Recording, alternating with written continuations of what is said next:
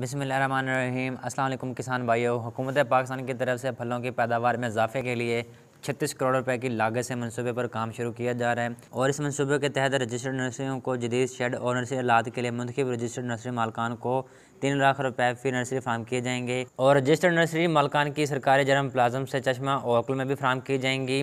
اور اس منصوبے کی شرائط کیا ہیں؟ کن کن نرسری مالکان کو یہ سبسڈی فراہم کی جائے گی؟ اور اس سبسڈی پر اپلائی کرنے کی آخری طریق کیا ہے؟ تو یہ تمام تر اس ویڈیو میں معلومات موجود ہیں۔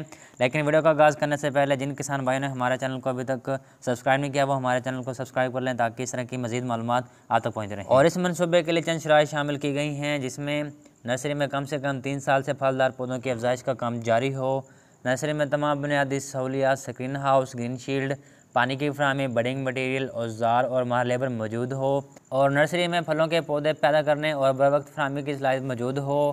مقامی جرم پلازم یونٹ سے رابطہ میں ہوں اور وہاں سے چشمہ قلم حاصل کرتے ہوں۔ نرسری میں تیار کیے جانے والے پودوں کی تعداد اور خرید و فروخت کا ریکارڈ رکھتے ہوں۔ نرسری مالکان گورنمنٹ کی ہدایات اور پالیسی کے تحت مقررہ ریٹ پر پودے فروخت کرتے ہوں اور ریسرچ ونگ کے زیر نگرانی ایک ایک کے رقبے پر کم سے کم پھلدار پودوں کا نمائشی پلاٹ لگانے کے لیے تیار ہوں۔